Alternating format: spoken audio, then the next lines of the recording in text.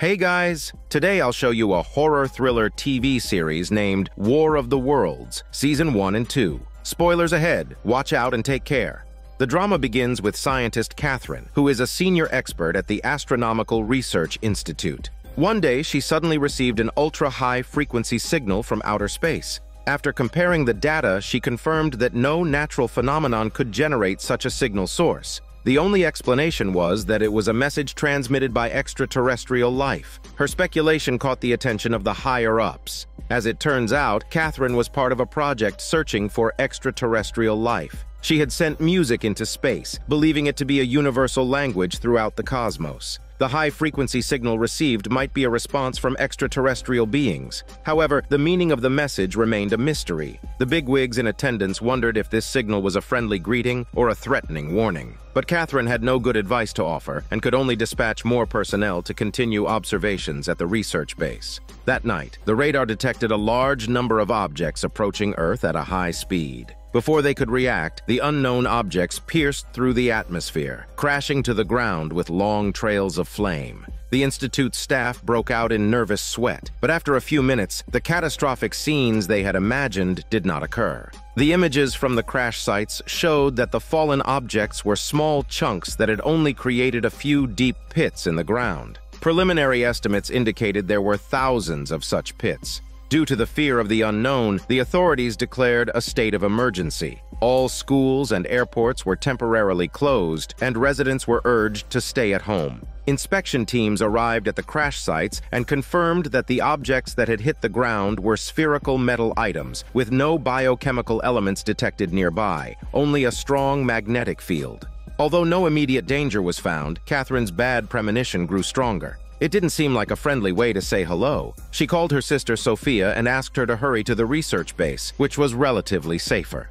Hours passed and the metal objects showed no changes, but the strength and breadth of the surrounding magnetic field were increasing. Catherine speculated that this might be extraterrestrial life scanning the entirety of Earth. However, the colonel felt it wasn't that simple. The metal spheres had all landed in densely populated areas, which could indicate an unknown weapon. At this moment, all the detection data had been uploaded to the server. Professor Bill, who specializes in electromagnetism, was staring at his computer. He had once conducted a study and found that induced currents could affect human brain activity. If the magnitude was large enough, it could potentially be life-threatening. Now, as the electromagnetic field of the metal spheres was growing stronger, Bill theorized that humanity might be facing an imminent catastrophe. The first thing he did was call his son, who worked at the Department of Defense, and suggested that he urgently evacuate residents to basements or metal structures. However, this was clearly beyond his son's authority. The head of security thought the cost of evacuation was too high, and citing a lack of concrete evidence, dismissed the evacuation proposal offhand. But the son had a lot of faith in his father. After much contemplation, he posted a message on his social media platform warning that Earth was about to be attacked. But his warning was hardly necessary. Many residents were already on edge.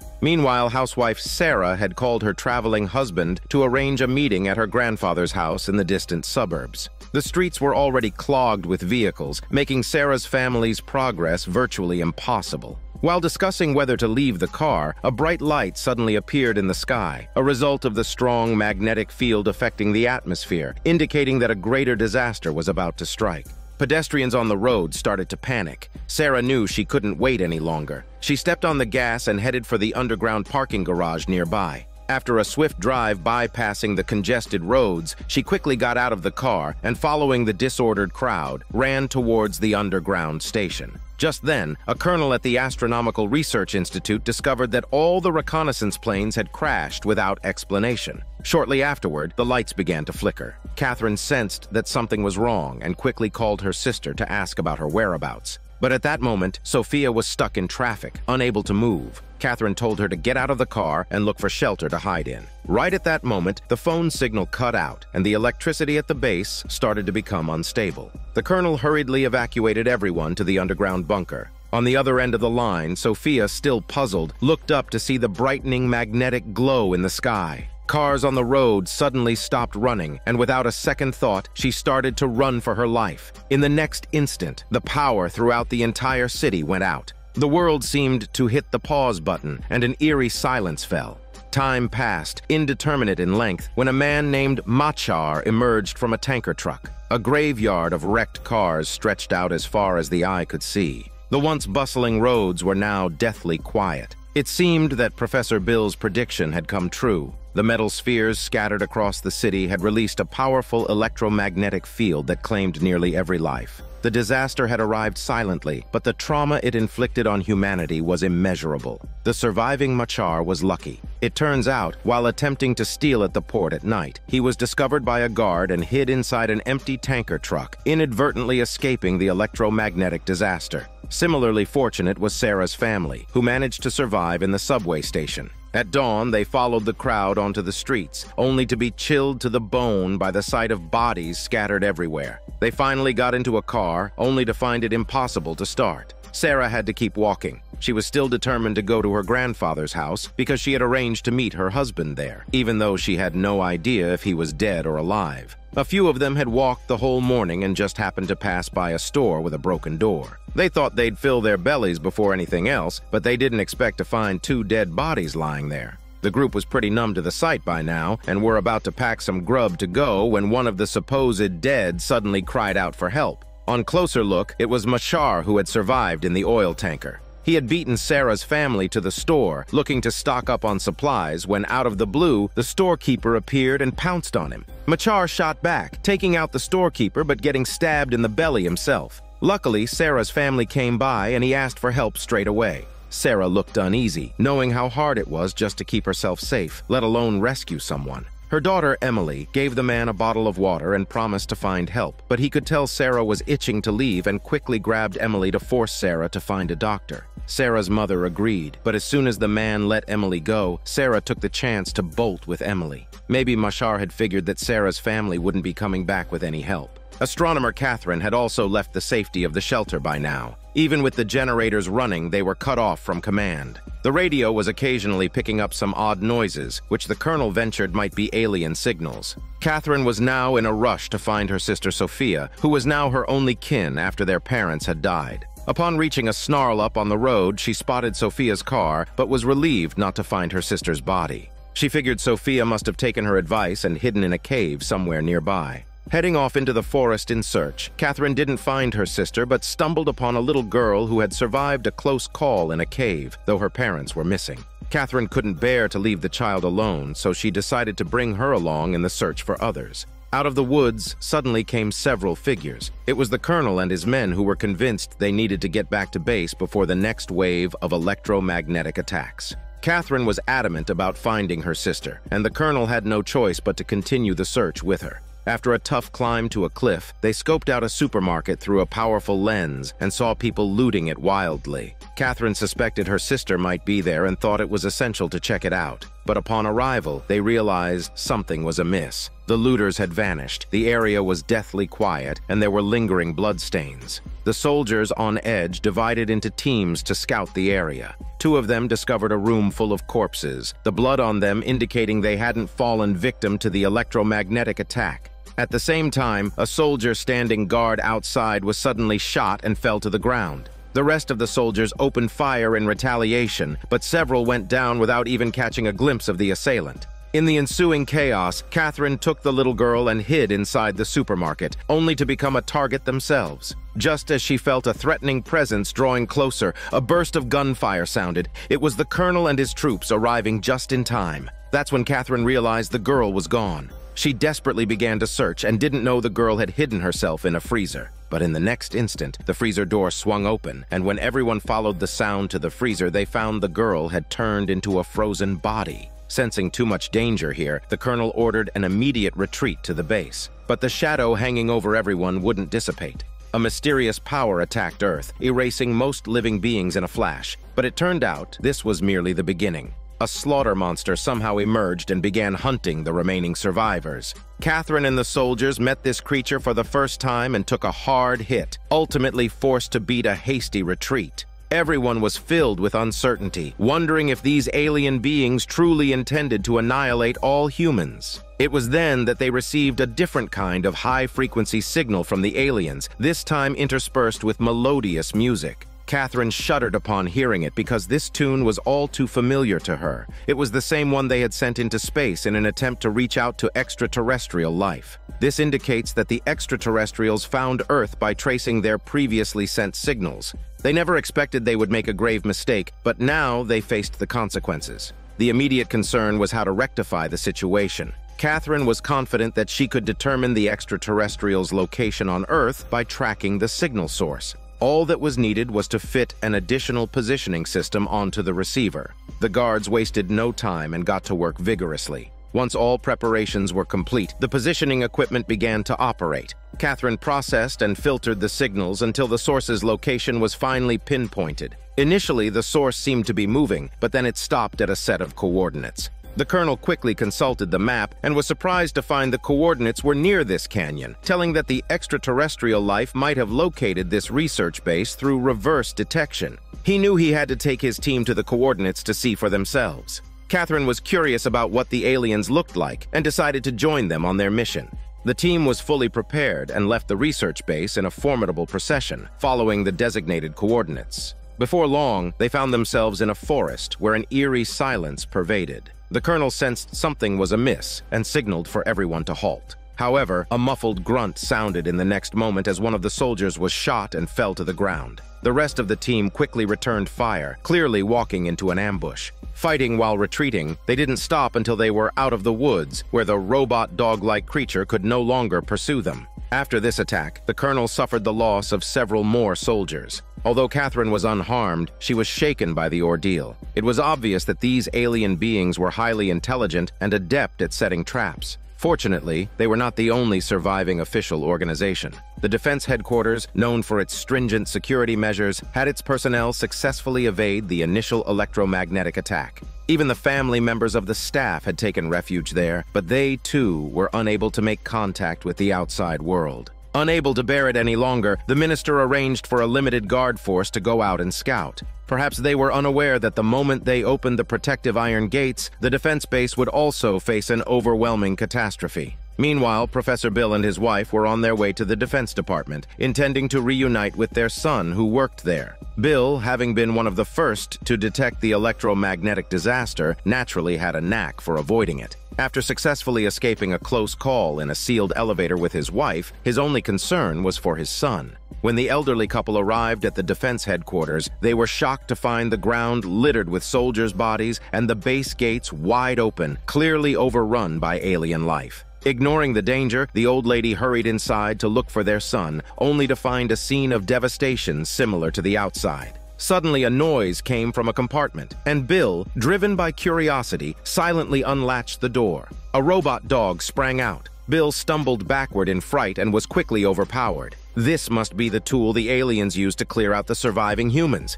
Its gun muzzle kept moving, likely because it had run out of bullets. Suddenly, gunfire rang out and the robot dog lay motionless. It's his wife who had come to the rescue. Soon after, shouts came from the end of the corridor. Surprisingly, the minister had survived, but her eyes were filled with despair, for everyone in the bunker, including her two children, had perished. Bill's wife, somewhat nervously, inquired about her own son. After hearing his name, the minister said he had escaped with a group of people. Relieved, the two promised to help the minister bury her deceased children. However, when everything was ready, the minister requested to be buried alongside her children, revealing she had no desire to live in this world any longer.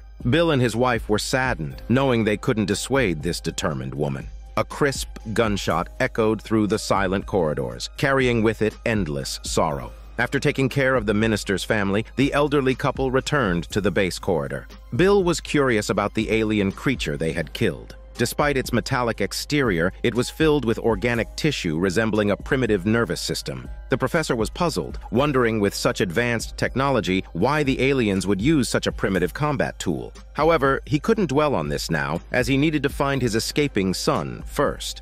Unexpectedly, when Bill went out, he accidentally discovered his own son dead by the side of the road, clearly having not escaped the pursuit of the robot dogs. The old couple's hearts were shattered by their son's death. After regaining some composure, his wife said that since the robot dogs had organic components, Bill must have a way to exterminate them, leaving none behind. The child's death had clearly enraged this mother. Bill promised her, but to research weapons to combat them, they needed to find a suitable lab. And so the old couple set off on their journey once again. On the other side, Sarah's family was on their way to her grandfather's house, having also endured many hardships just to reunite with her husband. While passing a hospital, a doctor suddenly ran out with an urgent look on his face, pleading for Sarah's help. Despite really not wanting to, especially in front of her two children, Sarah patiently entered the hospital. To her surprise, there were quite a few survivors inside, but they were all patients with mobility issues, and the doctors and nurses had long since run back to their homes. While talking, they reached the end of a corridor where many newborn babies lay in a room. After the electromagnetic disaster, they had all become orphans, looked after voluntarily by this doctor who could no longer cope alone, which is why he asked Sarah for help with the children. This was not a difficult task for her as a mother. Instead, it sparked the glow of maternal love in her heart, and she no longer spoke of leaving. Just then, Sarah's son hurried over, saying he had seen an old acquaintance. They went to the corridor and saw it was Machar, the injured survivor they had encountered in the store. Sarah was unsettled, obviously still concerned about the incident where the man had taken her daughter hostage. The doctor came out to mediate, pointing out that it was he who had brought the unconscious Machar to the hospital. This left Sarah speechless, knowing that she had once been indifferent to Machar's fate. Her daughter Emily approached Machar to offer an apology. Seeing this, Sarah still wanted to advise her daughter to keep her distance from him. Suddenly, gunfire erupted outside the hospital. Machar sensed trouble and urged everyone to seek refuge in the basement. Despite his injuries not fully healed, he took out his weapon and stood guard in the hospital lobby. The astute Emily realized that the gunfire was not just a simple conflict. She curiously peered out from an upstairs window and saw several robot dogs approaching the hospital. Machar quickly became aware of the danger. Confronted with these bizarre adversaries, he dared not make any move, instead hiding behind the counter and holding his breath as they entered the hospital. He went to inform Sarah and the others, not forgetting the doctor in the baby room, but he couldn't find him. For safety, he secured the door with several locks to keep the robot dogs out. After finally finding the dozing doctor in the corridor, he frantically dragged him towards the hospital exit. By then, the robot dogs had begun their slaughter, leaving those with limited mobility without any chance to escape. Chicken screams then filled the hospital. The doctor intended to go back to protect the infants, but was forcefully pulled away by Machar. Sarah's family hid in an office and evaded several waves of pursuit, narrowly avoiding a direct encounter with the robot dogs thanks to a sudden change of direction at the last moment. They all met at the entrance, but the doctor still worried about the infants and wanted to go back to save them. After being scolded by Sarah, he sheepishly ran towards the street. Fortunately, Machar had previously barricaded the baby room door. Although the prowling robot dogs heard the crying, it was unclear whether they would force entry. After a night on the run, Machar and Sarah's family found an unoccupied office to rest in. Unbeknownst to them, the doctor, still concerned about the infants, stealthily took Machar's handgun while he was asleep and hurried back towards the hospital. When Machar realized the doctor was missing, several hours had passed. In a way, the doctor was his lifesaver, so Machar felt compelled to go to the hospital to find him. As night fell, Machar once again arrived at the eerily quiet hospital. All the patients had perished, but thankfully, the murderous robot dogs were gone. Machar groped his way through and safely reached the baby room, only to find the doctor sitting on the bed, distraught. Machar was dumbfounded to see all the infants had vanished, presumably taken by the robot dogs. When Machar and the doctor realized something was amiss, they immediately fled the hospital. But they hadn't gotten far when they were targeted by alien slaughters. The two were forced to hide in a small car, holding their breaths and watching in shock as robot dogs leaped over the car roof until they disappeared from view. Only then did they continue to walk on the desolate streets. Unexpectedly, they encountered an elderly couple en route. It was Professor Bill and his wife. It was surprising to find that they had left the defense base and even brought the corpses of the robot dogs with them, planning to head to the school lab to research ways to combat the alien creatures. Machar knew the streets were too dangerous at the moment and decided to take Bill and his wife back to the safety of his apartment first. Sarah's son, Tom, was extremely curious about the robot dogs, and Professor Bill was patient in explaining. By observing their neuronal density, it became clear that the robot dogs didn't seem to be intelligent alien beings, but rather more like controlled killing machines. The real mastermind had to be someone else. Bill noticed the ring-shaped mirrors embedded in the heads of the dogs, suggesting they might be used to receive external signals, similar to eyes. Tom suddenly remembered that his sister Emily, who used to be blind, had regained her sight intermittently since the alien invasion and could also hear sounds that others couldn't. Upon hearing this, Professor Bill thought if there could be a connection. As they spoke, Emily, who was previously blind, suddenly walked out of the room and approached the corpse of the robot dog. She said she felt the presence of something on the table. Professor Bill looked at Emily in astonishment. This was beyond any current scientific explanation. The doctor interjected, saying that the robot dogs had taken several infants from the hospital. What's more, the dogs didn't even spare pregnant women. They were after the unborn children. Afterward, the doctor rushed to inform everyone that the robot dogs had located their position. Clearly, they couldn't stay put any longer. The group packed their bags and hastened outside. Unexpectedly, Emily once again heard the mysterious sounds and her vision returned. But in the next moment, a robot dog appeared out of nowhere, causing everyone to gasp in shock. Only Emily at the forefront waved her hand, signaling everyone to stay still. Strangely, the robot dog stopped upon approaching Emily and then left without any sign of malice. This left everyone dumbfounded, and Professor Bill became even more convinced of Emily's extraordinary nature. However, a thorough examination of her eyes revealed nothing unusual. At this moment, Sarah decided to head to the school lab with Machar, Professor Bill, and others, abandoning the plan to reunite with her husband for the time being. She knew that just the three of them, mother and children, would inevitably encounter trouble on the streets. The group, carrying the robot dog's carcass, set out for the lab. The sight of the ravaged surroundings weighed heavily on their hearts. They were acutely aware that sticking together was the only way to avoid becoming lost souls on the streets. Fortunately, it wasn't long before they arrived at the school where the professor worked. The place had a generator for power and plenty of unused rooms, making it an ideal refuge. But what the professor loved most was the fully equipped lab. He removed the robot dog's eyes and discovered that it was a high-precision detector with a string of binary code etched on its surface. After decrypting the code, he was astonished to find that it was a rearranged sequence of genetic fragments. It was unexpected how advanced the alien's research on the human body was. When he went to share this news with his wife, he discovered that she was not in their quarters. It turned out that the old lady had learned from Sarah that it was her son Tom's birthday today. Despite the apocalypse, she couldn't help but say that one should not neglect the love and care for one's child. So the two mothers quietly stepped out onto the street, intending to prepare a birthday gift for Tom. But in a large garage, they suddenly heard cries for help. Upon rushing over, they saw a robot dog dragging a pregnant woman. At the crucial moment, her husband used a gun to attract the robot dog's attention, giving the woman precious time. Sarah and the old lady appeared just in time, helping the pregnant woman to escape at full speed. They barely managed to find a small van and jumped in without a second thought. Unfortunately, they still encountered the robot dog, but they managed to drive it under the vehicle. Tragically, the pregnant woman stopped breathing due to a gunshot wound to the head. When the two returned to the school, they quickly cleaned off the bloodstains and mysteriously brought Tom to a room that had been prepared in advance. The room was filled with companions, and a birthday cake and gifts were all set. A unique birthday party began. Even under the toughest conditions, they do not abandon their spirit of optimism and hope.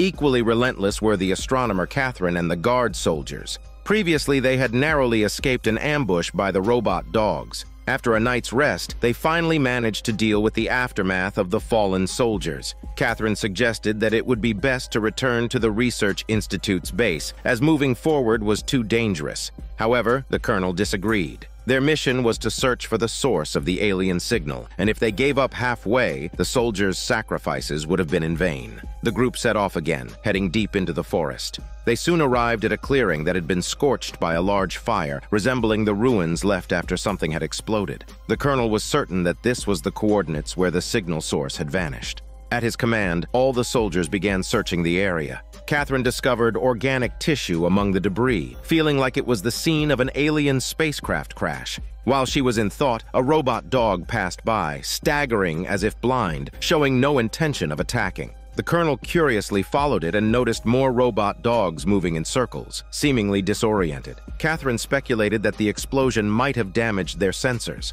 At that moment, gunshots were suddenly heard nearby. It turned out to be soldiers toying with the unresponsive robot dogs, clearly loathing these creatures. The colonel did not join in the venting, but continued his thorough search of the surrounding area. Finding no trace of the alien signal source, the group had no choice but to leave, planning to return to the research base.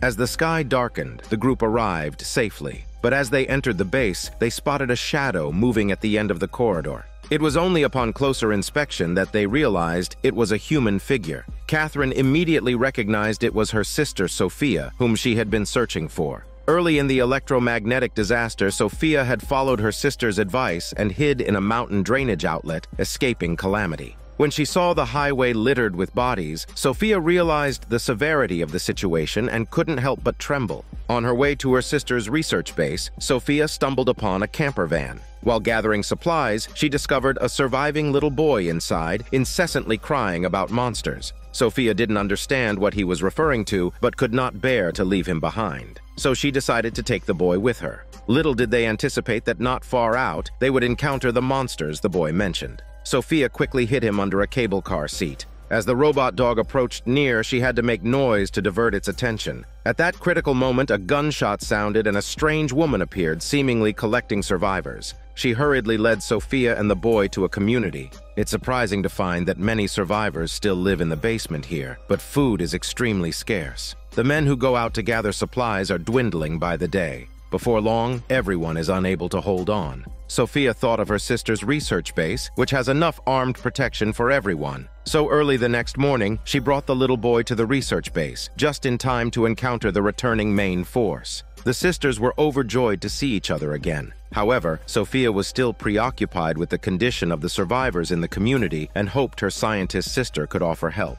Catherine had no choice but to consult with the colonel, who quickly showed a troubled expression. At this point, he also couldn't get in touch with the headquarters. With only a few soldiers, the risk was significant to go there rashly. Although Catherine understood, she still felt a bit disappointed. Just then, a flock of birds flew past the window in neat formation. Catherine realized that these birds rely on the quantum properties of their cells to fly in formation, so she deduced the alien creatures might be the same. Perhaps when searching for the alien signal source earlier, it was the radio frequency that disrupted the navigation of the alien spacecraft, causing it to crash in the forest. And the reason those robot dogs became unresponsive was due to the crash of the spacecraft that commanded them. However, it's unknown how many such spacecraft there are. Catherine proposed that if they could use signal interference to sever the connection between the spacecraft and the robot dogs, then all of them would become sitting ducks. The colonel thought the method was feasible, so the next morning they set off in grand fashion, ready to head to the community to rescue the survivors and also to test Catherine's hypothesis.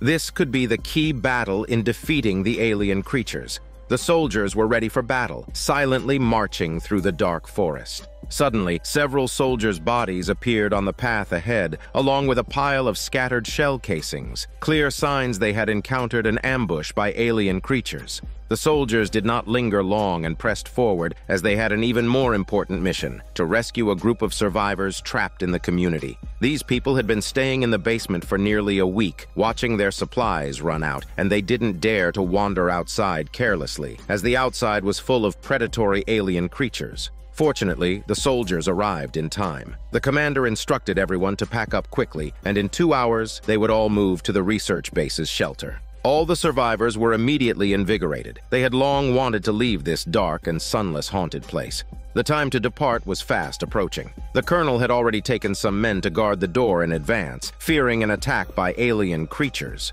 Unfortunately, things didn't go as hoped. A guard suddenly fell to the ground, shot, the alien creatures had found them after all. The colonel ordered a counterattack while sending a few of his men to retreat into the basement, secure the door, and ensure the survivors' safety. Meanwhile, he himself stayed to engage with the robot dogs, hoping to annihilate them quickly. But the enemy forces invading this time were sizable, and the military's numbers were dwindling. Even Sophia was accidentally shot and fell. As the enemy closed in, everyone was in a state of panic. Catherine remembered her earlier speculation and hastily took out a small signal transmitter from her backpack. She hoped the emitted frequency could disrupt the connection between the robot dogs and the alien command system. At that moment, the robot dogs began to hammer at the basement door, with all the survivors' shitty lives hanging by a thread. Catherine was still frantically adjusting the frequency. As each second passed, another soldier fell. Just as a robot dog reached her sister, Catherine finally completed the frequency adjustment. A high-frequency signal was emitted, causing the robot dogs to begin to spin in place, ignoring the humans around them. Undoubtedly, Catherine's experiment was a success. The survivors had narrowly escaped disaster and began their slow journey towards the research base under the protection of the few remaining soldiers. The colonel was also full of confidence, knowing that since they had found a way to fight the alien creatures, humanity would one day be victorious. Meanwhile, Professor Bill in the lab, still searching for the alien creature's weaknesses, wasn't having as much luck. His only finding was that the aliens were studying human genetic sequencing and had made significant progress. The abduction of infants and pregnant women was a clear indication of this. Machar, keeping watch on the balcony, had a growing sense that time was running out for everyone as gunshots were constantly heard nearby and soldiers could even be seen. He believed staying here was no longer safe, and perhaps the military's counterattack against the aliens was about to begin. But everyone present was reluctant to leave, thinking there was not any other place safer than here. The professor sought out Emily alone, hoping to find some answers from this special girl. But this time, it seemed he had approached the wrong person. She had inexplicably regained her sight and somehow shared a connection with the alien life forms.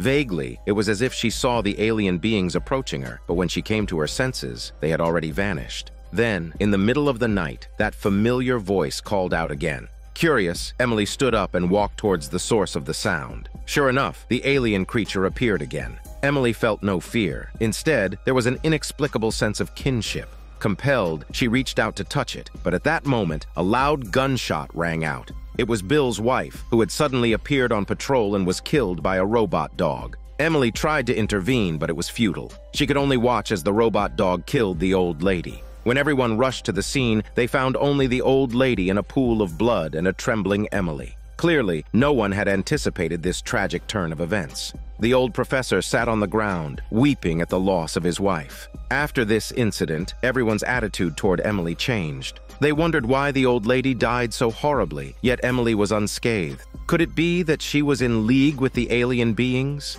Emily, clearly unable to accept the suspicions from those around her, decided to calm down alone. Professor Bill was never able to get over the sudden death of his wife, but he had not completely given up.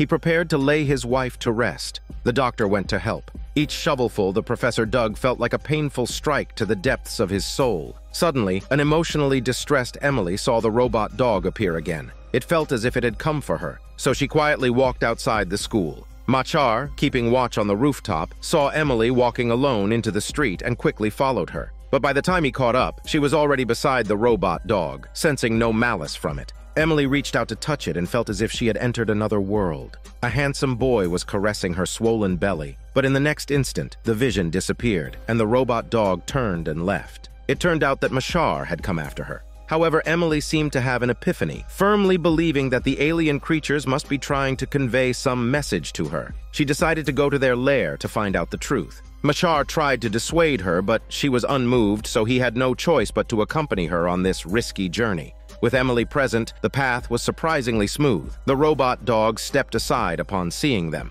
In her view, these alien creatures were not to be feared. Instead, they seemed to be leading the way. While everyone at the school was preoccupied with taking care of the old lady's affairs, only Sarah noticed the note left behind by Emily. She realized her daughter had already left and wanted to go after her, but her son Tom still needed her care. Sarah reluctantly abandoned the thought of chasing after Emily. Just then, the sound of breaking glass echoed from the corridor outside. It was clear that an alien creature had broken in. Staying put was obviously unwise, so Sarah hurriedly took her son to leave through the front door. However, the sounds of intense fighting were coming from the entrance as well, forcing mother and child to escape through the underground garage. They hadn't gone far when a group of soldiers suddenly appeared. Sarah and her son quickly raised their hands in surrender, observing that the soldiers seemed to have been driven here by the alien beings. At this time, Emily and Machar had already reached the city center. Several robot dog carcasses hung from the overpass, a clear sign that conflict here had been fierce. Emily cast a sympathetic glance before continuing on their way. Unintentionally, the pair reached a bridge where a huge building floated on the river, which Emily felt must be the central hub of the alien life. Politely declining Machar's offer to continue together, she mustered strength in her legs, vaulted over the handrail, and leaped onto the structure. Not far ahead was a conspicuous entrance. Once Emily crawled through, she found herself in a closed, elongated space. The entire corridor was narrow and dim, but she moved forward. Here she saw many infants, though their purpose was unclear. Continuing on, Emily found a massive container at the end of the corridor. Approaching it curiously, she didn't expect a withered hand to reach out from within. The girl's face showed utter amazement because a living human being was lying there. Emily, who shared a special connection with the aliens, inadvertently discovered that these so-called aliens had the same physique and appearance as humans. In the moment their hands clasped, Emily's mind was flooded with miraculous visions of a land unlike Earth. Aliens in agony hurled their dead into a river, clearly facing a catastrophe. It was then that Emily jolted awake to find the woman from her hallucination standing before her with a circular tattoo identical to her own on her hand. Frightened, Emily rushed outside, only to be blocked by two robot dogs. Suddenly, her surroundings began to shake. It turned out her spaceship was taking off. Machar watched the scene before him in disbelief. The scene shifts to six months later. Under the oppression of the aliens, the remaining human survivors began to fiercely resist. Sarah became a nurse, while Professor Bill made significant headway in his research on the aliens. They retrieved several alien bodies from the river, whose appearance was similar to humans, but with unique genetic mutations causing multiple organ failures and even disabilities. This was why they relied on robot dogs to hunt. The professor speculated that the aliens were abducting infants to use their embryonic stem cells to perfect their own genetics. Over the past six months, he had developed a prototype biological weapon based on alien genetic traits, now in the clinical trial phase.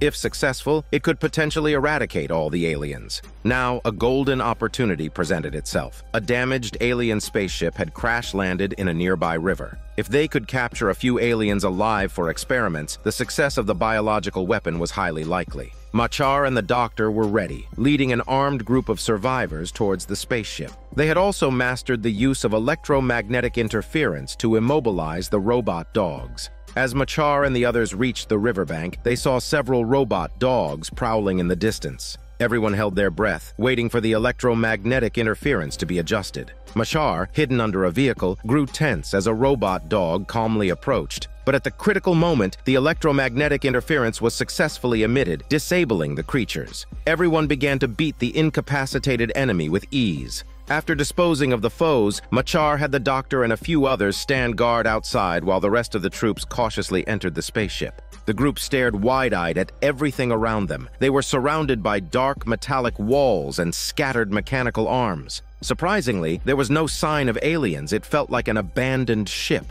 The group dispersed to search and astonishingly found an unconscious woman in a seat. Tom figured out it was his sister, Emily, who had been missing for six months. Machar also recognized her and hurriedly unbuckled her seatbelt, preparing to take her away. Meanwhile, outside, the doctor and the others on watch were suddenly under mysterious attack. Everyone immediately fought back. Machar, rushing out, saw the only fallen attacker. It was unexpected. The aliens had joined the battle themselves. It was clearly a well-planned ambush, with aliens already positioned at strategic high points around the streets. All the surviving humans could do was run for cover as more and more fell. Fortunately, it seemed they spared Emily, not firing at her. In just over 10 minutes, the ground was littered with the bodies of survivors.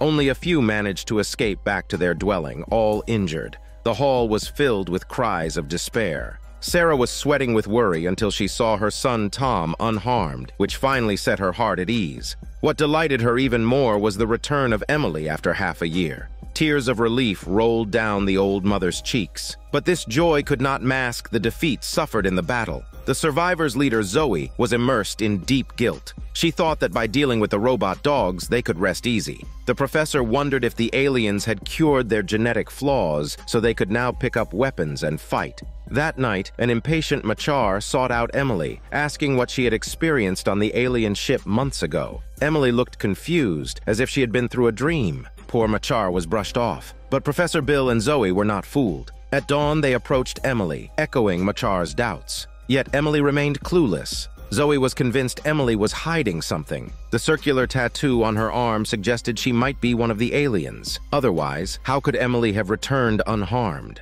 Zoe suggested using the biological weapon on her to test its effectiveness, but Professor Bill flatly refused. There was no evidence to prove Emily was an alien, plus, she was still an innocent giant baby. In reality, neither of them had any idea what Emily had truly been through. In the flashback, Emily met the alien leader inside the alien spacecraft, the very woman she had seen in her illusions. The leader was positive that Emily was one of their alien kin and insisted she return to the survivors' camp to assassinate Professor Bill, whose research on a biological weapon might pose a threat to the safety of all alien life. Faced with an incredibly tough choice, Emily was torn. She had always been a genuine human, or so she thought. Why then did she share this profound connection with the aliens? The professor was also perplexed by this mystery, and he stealthily plucked a few hairs from her comb for analysis. To his astonishment, Emily's DNA was identical to that of the aliens, plunging him into confusion. Meanwhile, Emily was on the verge of a breakdown as her empathic sensations with the aliens grew stronger, especially when she saw the corpse of an alien on the research table, feeling an inexplicable kinship and a burgeoning urge to kill.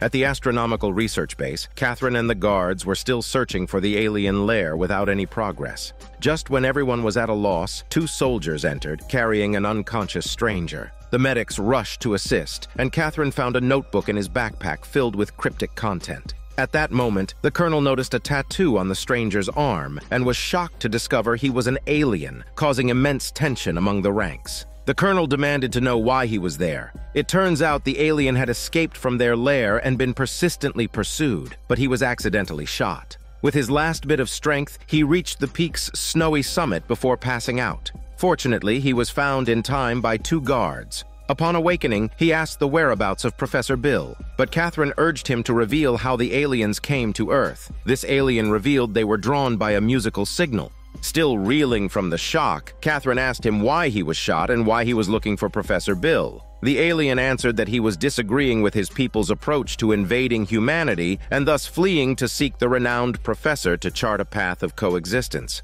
The notebook he carried contained advanced physical formulas which the aliens had used as a basis to develop space jumping technology. Catherine stared at the alien in amazement, feeling as though she had stumbled upon a treasure but wondered if things were as they seemed. Unexpectedly, the pursuing aliens draw near. A bullet pierced through the window, instantly taking down the nurse. A barrage of gunfire followed and the aliens swiftly charged into the hallway. A fierce battle ensued immediately. Catherine reacted quickly, grabbing her sister and darting through the back door corridor. The colonel, attempting to cover the sisters, was accidentally shot and killed. Only one soldier remained, forcefully dragging Catherine to escape in haste. When Calm returned to the base, an alien approached the bedside of his wounded comrade, clearly infuriated by the act of desertion. Without hesitation, he extended his hands and ended the traitor's life. From all the staff at the research base, only three would survive. Fortunately, Catherine hadn't abandoned her intention to defeat the aliens. The knowledge in the notebook was crucial. She had to find Professor Bill quickly. Unbeknownst to anyone, the professor was in the midst of a grave crisis. As the survivors in the school drifted into sleep, Machar saw Emily stealthily leaving the hall. Unexpectedly, she was preparing to strike at the professor. Luckily, he awoke just in time to prevent her from inflicting a fatal wound. Machar rushed over, stopping Emily from doing something foolish. After this disturbance, Emily's alien identity was established, and she was confined to a storeroom. Professor Bill was shaken by the close call. If something happened to him, his research on combating the aliens would be destroyed. Finally, he unlocked a secure cabinet and retrieved a new type of virus, an unfinished bioweapon designed to fight the aliens. He prepared to test its effects on Emily. Her eyes instantly filled with tears, seemingly filled with pleading. Bill reassured her that it was just a sedative. Then he forcefully injected the virus into Emily's arm. However, Emily quickly realized something was amiss. She had no strength at all and was breaking out in cold sweats. Professor Bill, the creator of the virus, had his own doubts and planned to take a sample for analysis. The results showed that the virus was taking effect. Emily's organs began to fail rapidly, and Bill, knowing the lethal power of the virus on alien genetics, didn't want Emily to die. He stated that only by injecting insulin could they control the condition. Zoe was well aware that their insulin supply had already run out. A trip to the pharmacy was the only option. Before long, Machar arrived at a nearby supermarket with a group of survivors. They spread out, searching carefully, and finally located the pharmaceutical counter. After breaking the locks on the doors and windows, they began to rummage through the shelves in search of insulin. Machar, standing watch at the entrance with a child, heard a noise from the next aisle. Following the sound to the end of the shelf, he discovered a damaged robot dog. Although it was not a threat, Machar felt a bad premonition. Reacting quickly, he turned back to where he had been standing guard, only to find that the child with him had disappeared. In panic, Machar searched everywhere and saw the child's hat at the entrance of the supermarket. It was clear that the child had been captured by aliens. Fortunately, with the medication, Emily was no longer in immediate danger, but her family couldn't wait any longer. They hadn't seen Emily in a day. As it happened, when the aliens arrived, Emily's father, Jonathan, was in another city and had made a great effort to come here. Along the way, he met a woman and her son, Sacha. Surprisingly, Sasha could establish a connection with the robot dogs just like Emily could. With this living radar, Jonathan and his companions easily avoided the dogs and reached the downtown streets unobstructed. There they happened to run into Machar and others who were out on an errand. Recognizing them from a photo as Sarah's husband, Machar quickly led them back to the school building camp. The reunion between husband and wife was filled with immense joy. However, Sasha's mother, who had arrived with Jonathan, felt a bit out of place. It was likely that during their adventurous journey, they had developed some hormone feelings that went beyond friendship. When Jonathan learned that his daughter was imprisoned, he was furious. Yet Bill and Zoe stood firm, stating that no one was allowed to see Emily. With the majority of people there being Zoe's followers, the couple felt helpless and had no choice but to compromise. As Sasha shared a telepathic ability with Emily, he knew the situation was not as simple as it seemed. He quietly followed the professor and noted down the room where Emily was detained, but was powerless to rescue her at that moment. Emily herself sensed something was wrong. She remembered the alien leader mentioning that Bill was developing a virus against the aliens and immediately guessed what the professor had injected her with. Although the professor admitted it, she was now too weak to change anything. Her eyes were filled with despair, but would the aliens really just sit back and wait for their doom? The scene shifts to a desolate street where a frail figure struggled onward. The guard on lookout took a closer look and realized it was the child who had been captured by the aliens the day before. The survivors were all thrilled and quickly helped the child inside. Seeing the pain he was in, it was clear he had suffered significant injuries. They examined him and found a long, sutured wound on his abdomen. A man hurriedly opened the wound to check, but in the next moment his face turned ashen. A massive explosion nearly blew the hall apart, leaving everyone dazed and disoriented. But this was only the beginning. Countless aliens rushed in and began a frenzied slaughter of the survivors present. Professor Bill was desperate, knowing that all the virus samples were destroyed in the explosion. Now, the only hope was Emily, who carried the virus. But Sasha acted even faster. He rushed into the storeroom and helped the weak Emily out. Machar, Sarah, and their family knew the situation was beyond salvation. They escaped through the back door amidst the chaos. In less than an hour, the entire survivor camp was eradicated by the aliens. Fortunately, Professor Bill managed to escape as well, foiling the aliens' plan for this mission. The group navigated through the streets, eventually choosing to rest for a while in a mall. Emily was weak, but she still had the strength to speak. The professor had to admit that he had injected her with the virus to test its effects against alien weapons. Everyone was furious, especially her mother Sarah, who was almost driven to madness. However, Professor Bill was convinced he was in the right. He then took out insulin, claiming it could suppress Emily's symptoms. Surprisingly, the effect was immediate, and Emily improved that very night. Sasha hurried over to see her, marking their first official meeting, yet they felt an inexplicable familiarity, having already been intimately close in visions. Sasha felt that he and Emily were meant to be together. In contrast, Professor Bill became an outcast, with only Zoe still steadfast in her support. Although the virus was destroyed in the explosion, Emily was already infected. If they could take her to the lab to extract samples, they might still eradicate the aliens. Unbeknownst to them, Sasha overheard their conversation. Taking advantage of the quiet of the night, he approached the professor, believing that Emily would only be completely safe with the professor gone. The elimination of the aliens was not his concern. As Sasha drew his knife and advanced, the patrolling doctor suddenly rushed in. The two immediately wrestled their muscles, with Sasha stabbing the doctor. The professor seized the moment to run away, finally shaking off Sasha's pursuit by hiding in a dark corner of the street. Unexpectedly, the boy returned to where the doctor was wounded and only left the room after ensuring the man had stopped breathing. As dawn approached, Machar eventually found the deceased doctor. Panic set in among everyone. The killer Sacha acted as if nothing had happened, as no one suspected him. They searched the entire mall and found no sign of an outsider intruding, and Professor Bill had also disappeared. Machar suspected he might have fled out of guilt, but Zoe immediately denied it. At this point, her greatest concern was for the safety of the professor.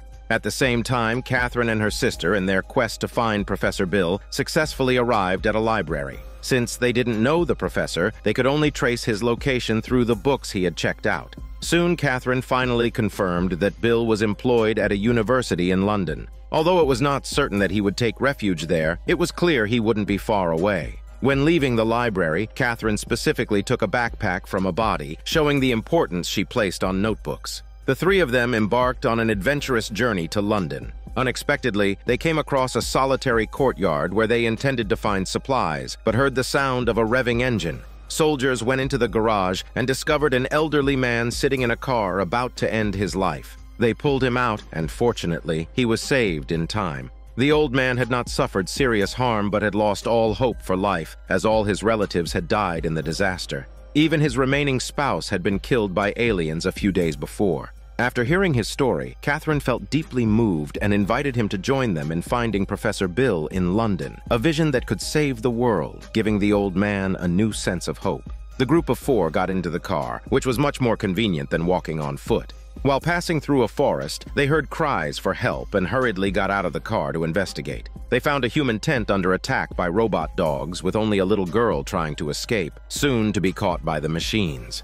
Catherine wanted to help, but a soldier stopped her, pointing out the overwhelming number of robot dogs. In the end, they could only watch helplessly as the little girl was brutally killed. The group of four continued on their way, as they neared the city center, the main road was congested with abandoned vehicles, and seeing the decaying bodies on both sides, they felt sorrowful. Since the road ahead was blocked, they detoured to a dock where they were suddenly attacked by aliens. The car quickly broke down, forcing them to abandon it and hide among shipping containers. Unbeknownst to them, the aliens had prepared an ambush from above the containers. The situation was dire, and the old man was accidentally shot in the leg. They had to fight and retreat until they hid in a container. The old man, unable to run any further, told Catherine and the others to go on without him, otherwise they would all be doomed. The guarding soldier decisively handed him a grenade. Under the old man's cover, Catherine and the other two escaped the container area. Left behind, the old man, hearing the enemy's footsteps approaching, did not hesitate to pull the pin of the grenade. Catherine knew she had lost this newly made friend. The number in their party returned to three. In the city center of London, a large number of aliens are dispersed across every street, all busily searching for Professor Bill. An alien quad is heading towards Emily's hideout, determined to find the professor who developed the biological virus. Fortunately, Tom, who was on lookout, noticed early and rushed upstairs to alert everyone. They knew they couldn't exit through the main entrance of the shopping mall and had to take a detour through a side door. Along the way, they encounter a few scattered enemies, but Machar can easily handle them. The group successfully escapes outside the mall, foiling the aggressive aliens once again. Without daring to pause, they continue across several streets until they reach a large bus station and decide to use it as a temporary base, though everyone knows this isn't a long-term solution. Zoe occasionally picks up the walkie-talkie, hoping to contact other resistance organizations. Tom feels somewhat hopeless, wondering if their group is all that's left in the city. Emily's situation is even worse. Her supply of insulin is running low, and she needs to resupply soon. The only people able to fight are Emily's father, Jonathan, and her brother, Tom. Without hesitation, the father and son quickly arm themselves and set out to find insulin.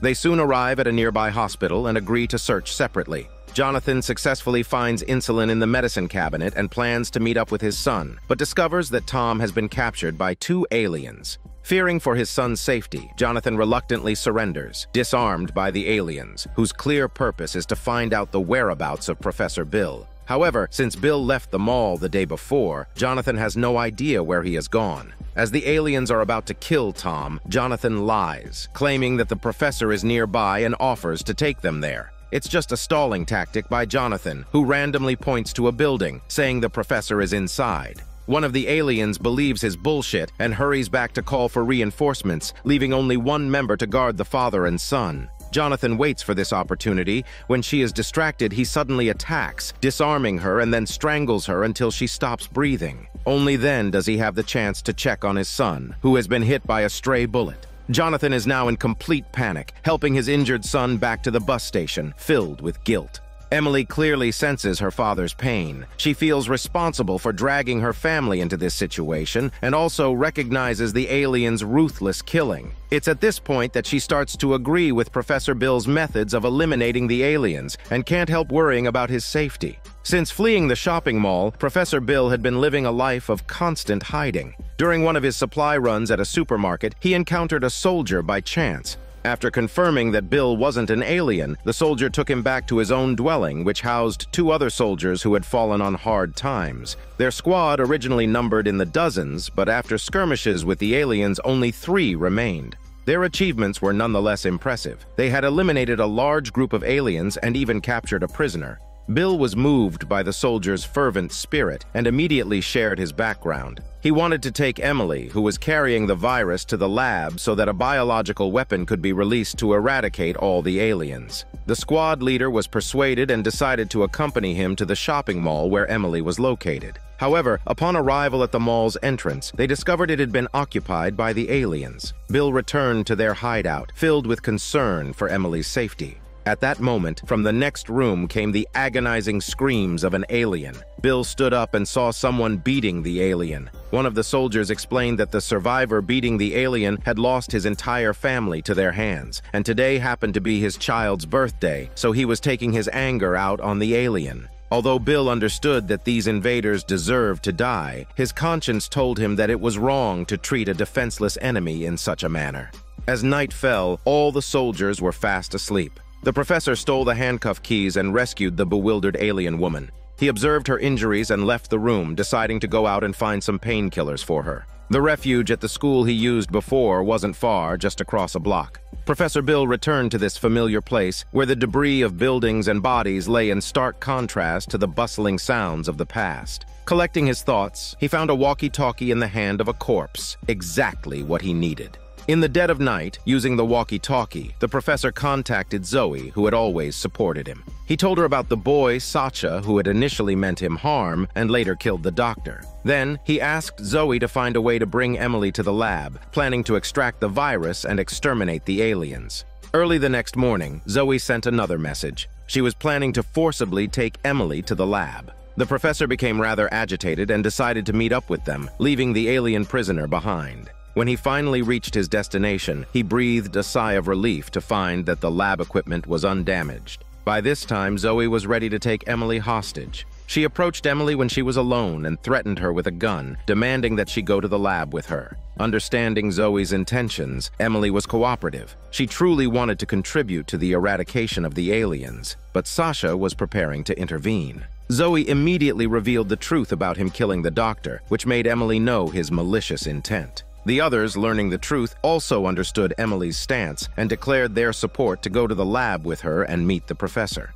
Meanwhile, Catherine and her sister, who were searching for Professor Bill, had arrived at the school where he worked. But they found no one after searching all the classrooms and not even Bill's name on the register at the reception. Catherine was plunged into despair and had no idea what to do next. While drowning her sorrows in alcohol, she saw a light turn on in a classroom across the way. There was no doubt there were other survivors. The three of them immediately set off, crossing a square full of bodies, and entered the room with the flickering light. To their surprise, it was a large lab, brightly lit, but there were no signs of life. In the innermost part of the lab, there was a robot dog on an experimental table, and behind it lay a corpse covered in blood. Catherine turned her attention to the diagnostic equipment connected to the robot dog. The complex data on the monitors shocked her. After moving the man's body outside, Catherine began to examine the data from the robot dog. She noticed that some of the constants and formulas were similar to those in her notebook. It seemed that the man had been researching the behavior principles of the robot dog, which must have involved a considerable amount of alien technology.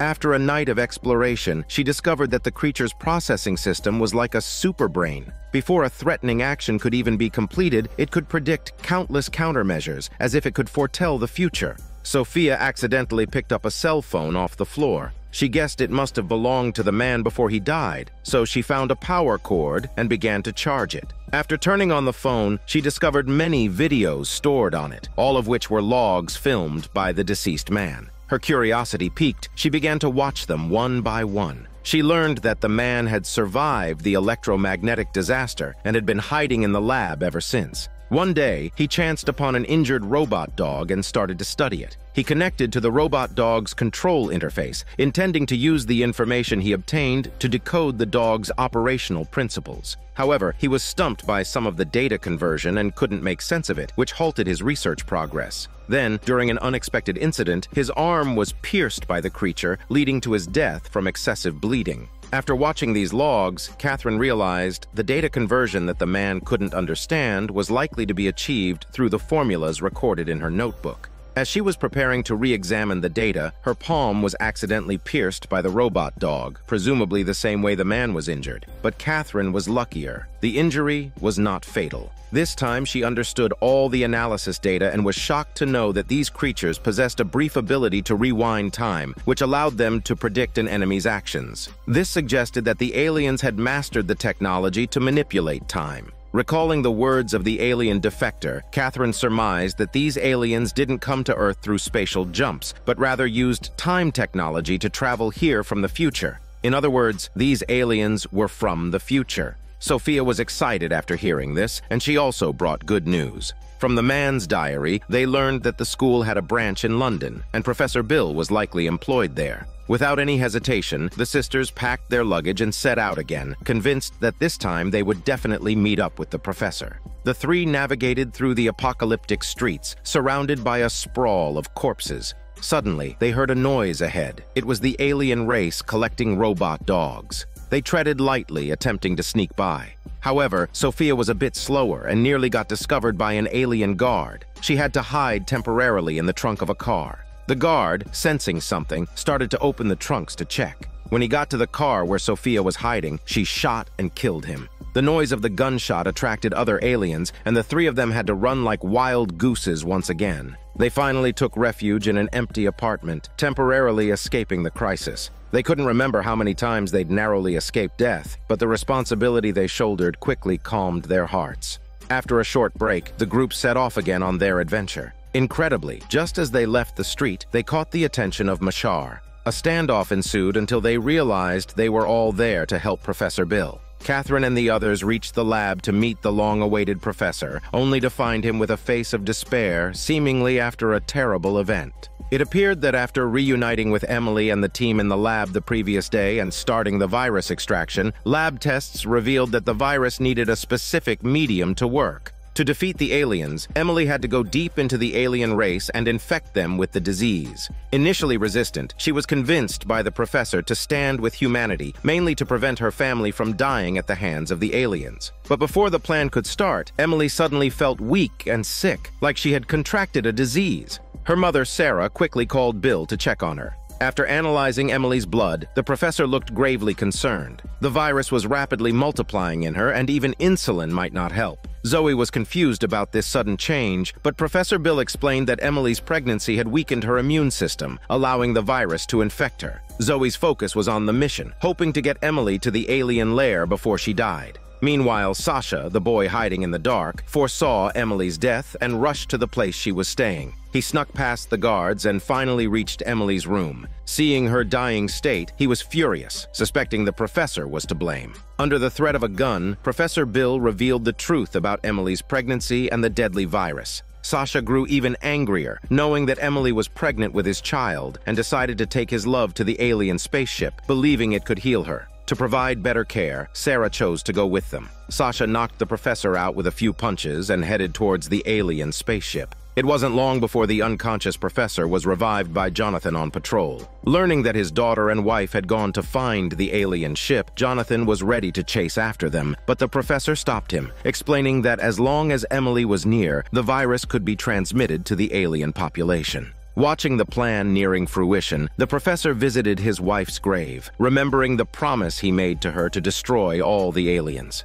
As the group arrived at the docks, they caught sight of an alien spaceship preparing to dock in the distance, only to be stopped by an alien guard. Upon learning why Emily had come, the guard shared that the spaceship could heal her, but only if they revealed Professor Bill's whereabouts. Sarah was not about to comply and pulled out a gun. Out of nowhere, a gunshot sounded from behind and Sarah fell, shot by Sasha. In his determination to save Emily, he was ready to remove any obstacles, despite Emily's desperate struggles. She was forcibly taken aboard the alien ship and strapped into a seat, unable to leave. Meanwhile, Catherine had opened up about her research to Professor Bill, suggesting that these aliens might very well be from the future, though their exact intentions remained unclear. As they were deep in discussion, Sasha's mother was suddenly shot in the adjoining room. The aliens had launched an assault, no doubt after Sasha had leaked their location. The professor had no time to flee, so he hid behind a lab chair. The aliens scanned the room and proceeded to search elsewhere, leaving only their leader behind, evidently looking for something. Bill took her by surprise, knocking her out and then demanding Emily's whereabouts. The leader smugly revealed she had anticipated Bill's plan and had already arranged for Emily to be isolated in a spaceship. Once the ship ascended, she wouldn't be able to infect any aliens, with only the alien guard as a casualty. Hearing this, the professor panicked and rushed to regroup with the others, who knew there was an escape route by the back door. After securing the main door, they made their escape, but it was too late. The alien spaceship at the docks was already lifting off, and all they could do was watch helplessly. They left the docks in utter dismay and sought refuge in an apartment. During a conversation, the professor discovered that Sasha could communicate with the aliens and suffered from a genetic muscular atrophy, which sent a shiver through him. The alien's genetic mutations had similarities to Sasha's condition. Furthermore, considering Emily's congenital blindness, Professor Bill got to know that Emily and Sasha were actually ancestors of this alien race. Both had congenital genetic disorders that caused genetic mutations in their descendants, plaguing the entire race with disease.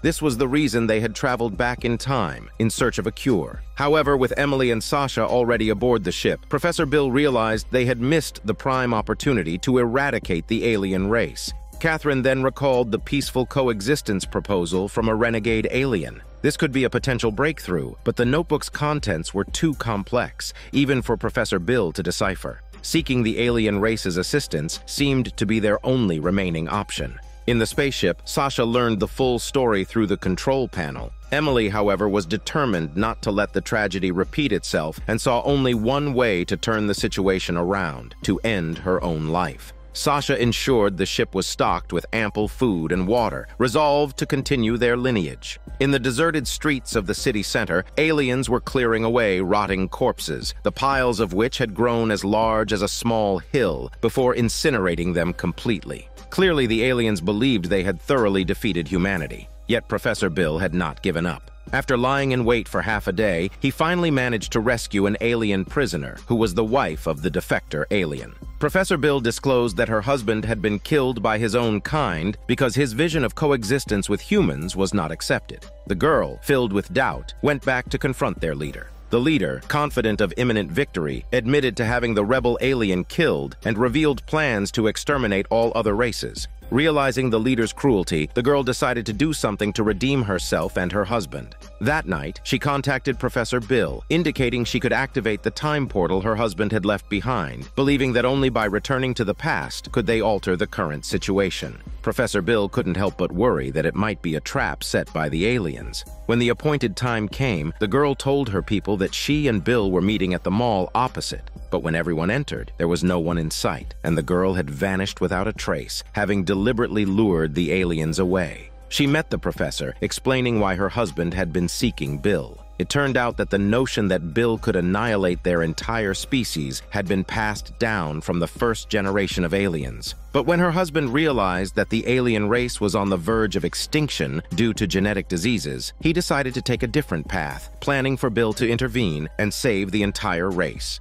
To fulfill this plan, he had left a cryptic clue about a time portal in his diary, with which his wife was extraordinarily familiar. The girl then led Professor Bill to another alien spaceship. Unbeknownst to them, the alien people had anticipated her idea and were lying in wait at the entrance to the portal. Catherine volunteered to cover their escape, but died at the hands of the aliens. Bill and the girl successfully entered the interior of the spaceship. After a series of complex maneuvers, the professor activated the time tunnel.